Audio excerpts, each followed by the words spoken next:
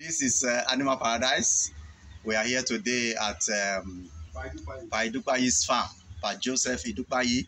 He has a lot of goats in this place. We came today to check them and also to administer vaccine to some of them and then also to um, generally just look at them and see the ones that is needing one or two things and then um, give them treatment and um, ensure that um, they all uh, are doing well. I seen it. But before we go to that vaccines point, there are some things I want to say. First of all, this is November in Nigeria. This is November. November is um, dry season. Dry season means a time for stocking. If you're having a farm, a goat farm, this November is the time you're supposed to buy animals. You don't buy animals, you don't buy goats in the rainy season because of PPR. PPR is very powerful or it is a, it's very powerful in the rainy season. So if you buy stock in rainy season, a PPR can attack them and to rescue them will be very difficult. So it's easier in the dry season where everywhere is dry. The viruses are not multiplying. The viruses are even dying. So dry season is the time to stock your farm. If you have a farm, as many stock as you want to buy, you buy in dry season. If it is the first time you are taking care of goats, don't buy many animals once. If you're having a farm newly, um, there are so many things you've not understood about your farm. Uh, every farm has its own uniqueness. First of all, you have to understand your workers. You have to understand the terrain where you're farming. You have to understand the feeding pattern. If you get 50 goats once, and when the dry season and your grasses run out, you may not be able to feed those animals. So it is better you get um, animals gradually.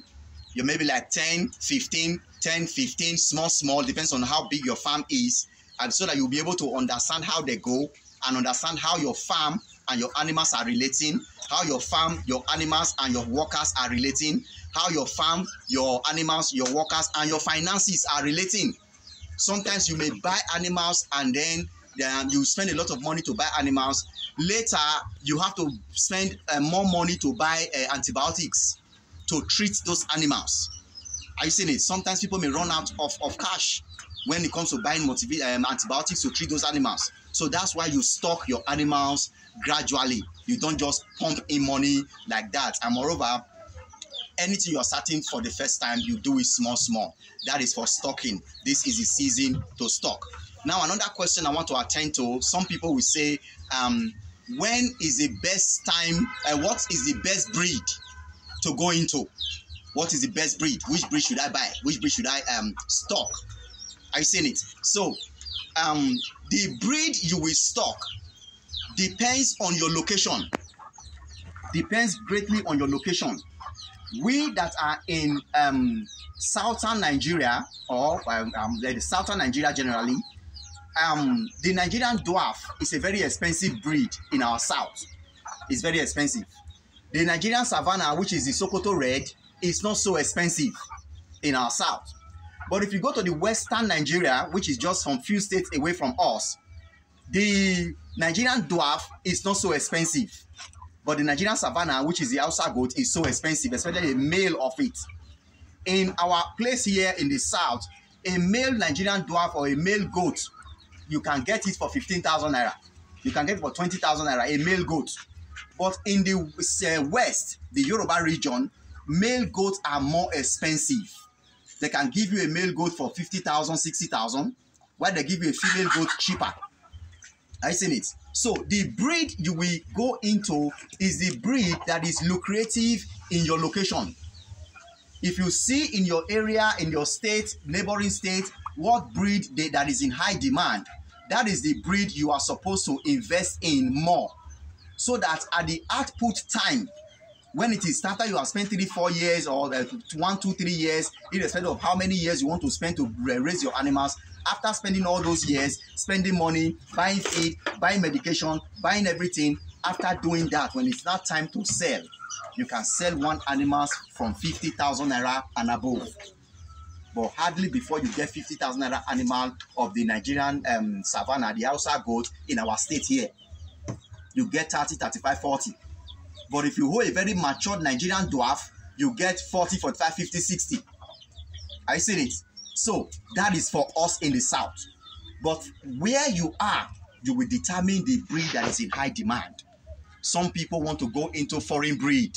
If you are a first time um, um, animal rearer or a first time um, goat rearer, don't go for foreign breed, those exotic breed, those boer goats and Kalahari, Savannah. Don't go for them if you are is your first time. First, gather goat experience with the local goats. All those local goats, gather the experience first because you will need experience to take care of them. Are you seeing it? So once you've gathered experience for two, three years with the local goats, then you can begin to bring in the foreign goats that you want to bring in. Permit me to say, goats used to die. There is mortality in goats. Don't just think that the way they were rearing goats in the villages that time, that's how goats is. Those goats in the villages, they get their natural uh, antibiotics by eating different things in different places. The moment you cage them down in one place, you have limited their food. You have limited their exercising. You've limited many things concerning them. They will begin to have issues if you don't know how to deal with them. Um, um, uh, if you don't know how to treat them. Are you seeing it? So, gather the experience first before you can say, hey, I want to go into exotic breed because one exotic breed can cost about 500,000 naira and then you go and get maybe like a 100 pieces, some millions of naira, and then they begin to die. It's not going to be easy.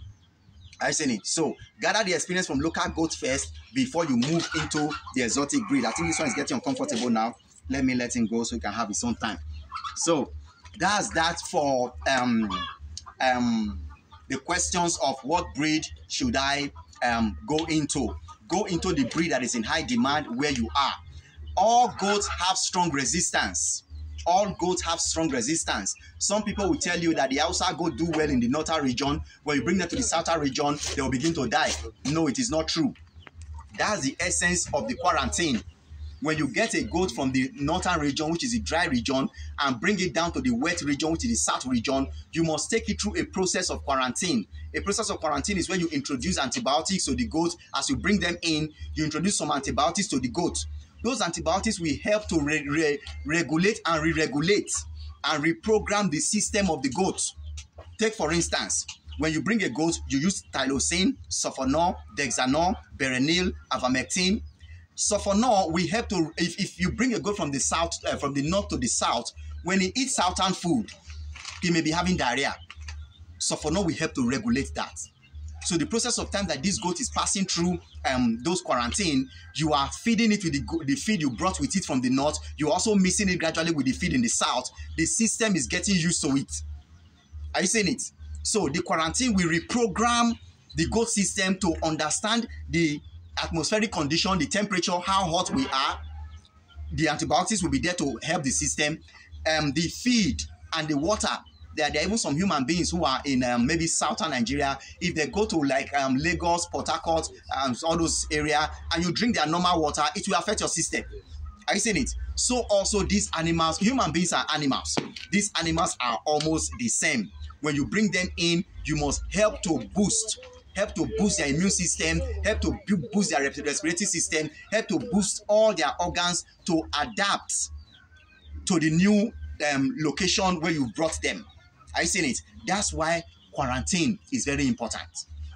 And then after quarantining them for five days, um, like what we do, um, we quarantine them for five days, let them rest on the sixth day. On the seventh day, you must vaccinate them.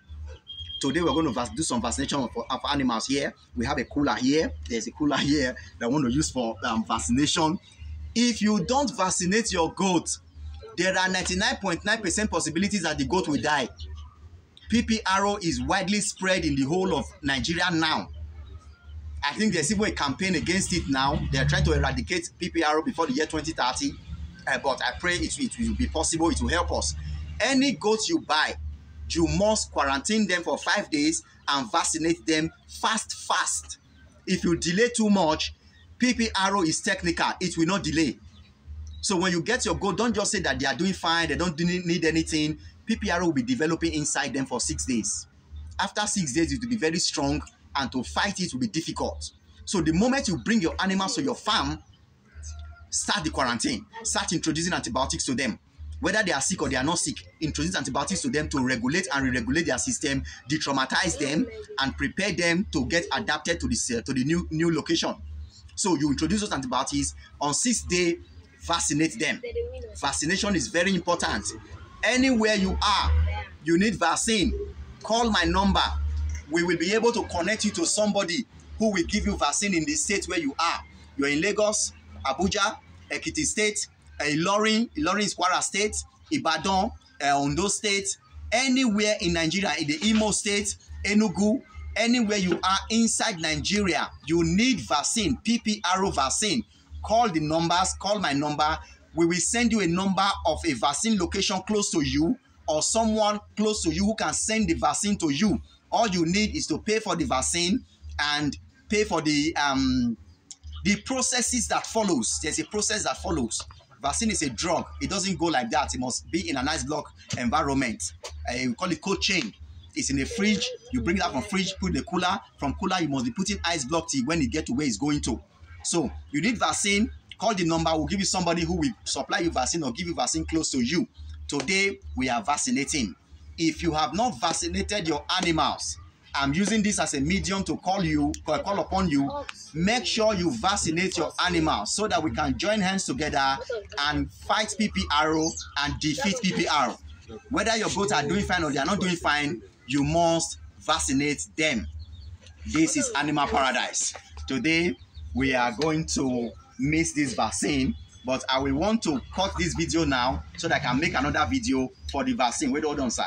Yes, I will cut this video and, and make another one. So, this is Animal Paradise. Um, subscribe to our YouTube channel. We have a YouTube channel called Animal Paradise. Subscribe to it. Go to Facebook, Animal Paradise page on Facebook. Like the page like the page so that whatever we are up uploading you will be receiving notification we also have animal farmers association it's a group on on on facebook go to that group join the group if you like then you can also send us a message to add you to our whatsapp group we have a whatsapp group interactive educative we call it the billionaires goat farmers club There we have a lot of goat farmers, major goat farmers, major goat goat farmer player players in Nigeria. They are all there. You want to join? Send us a message. We'll add it to the group. Thank you very much. Thank you for watching our, our channel. Bye bye.